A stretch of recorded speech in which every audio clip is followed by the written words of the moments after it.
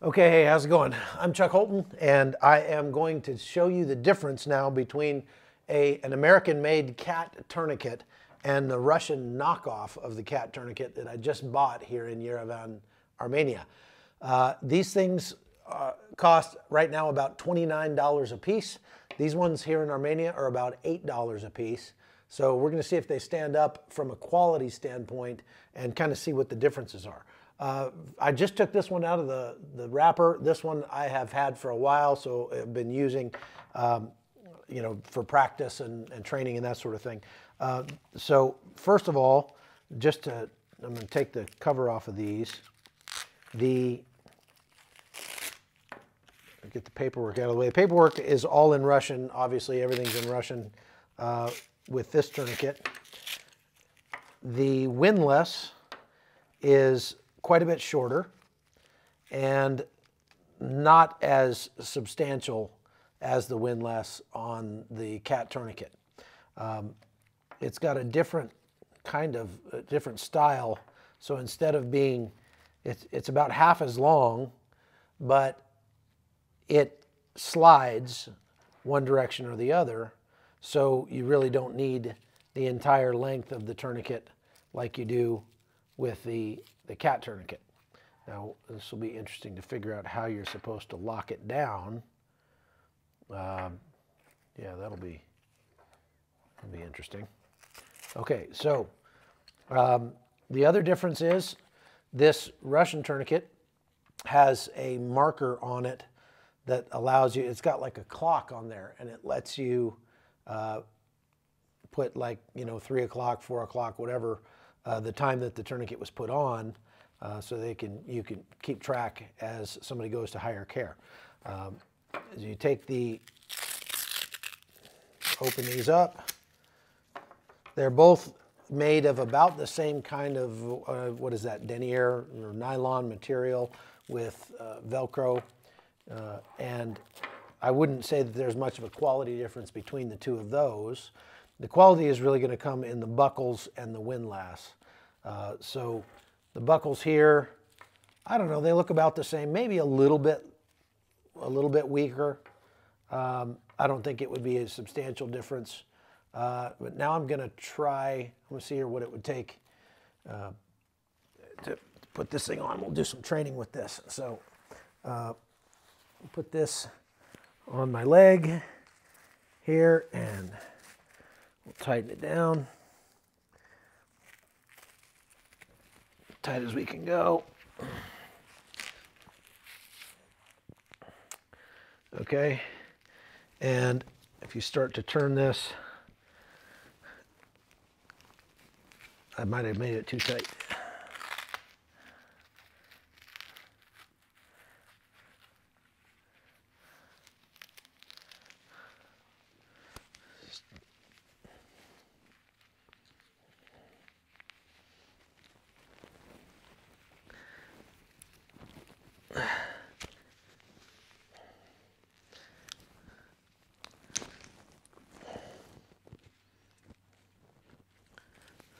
Interesting.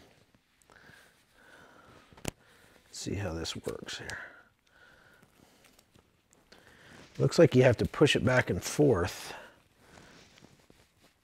Maybe not.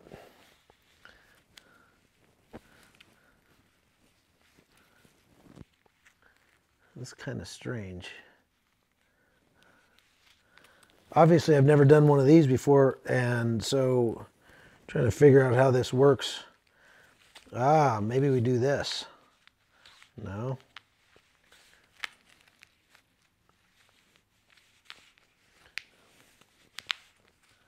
Twist it that way. Yeah, that actually works.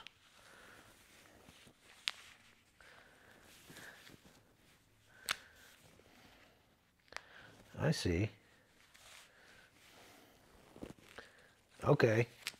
So this is going to work in a completely different way from the American one, it looks like. Let's see if I can tighten this up a little more.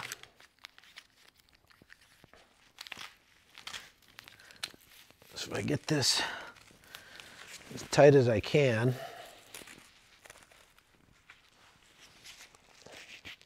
here and then tighten it the rest of the way with this. Yeah, that is tightening up. And then it holds itself against your leg. Ah, you could keep tightening this. Ow. Ah.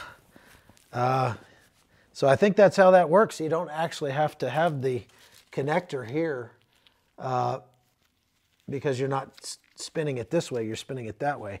Fascinating, very interesting. Uh, so I learn something every day. That is, that's a different kind of tourniquet for sure. Interesting. Um, okay, and and I don't uh, I don't feel like this thing is cheap or uh, low quality that it would break or anything like that. It just works differently than the CAT tourniquet does.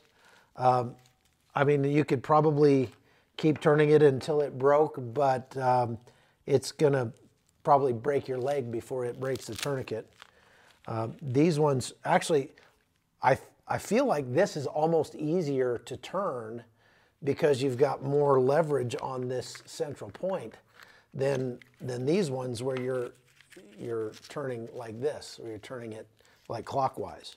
Um, I've used these a lot. I mean, obviously not for real, but in training. And you know, when you get down to the last few turns, this thing is, you know, you're working pretty hard on it. Uh, this one, actually, you get quite a bit more leverage on that central point doing it the other direction.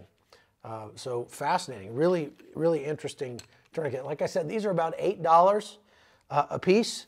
These are like $29 a piece. I don't think they are uh, necessarily, I mean, that much different. This one you have to have something to write with to put the time on.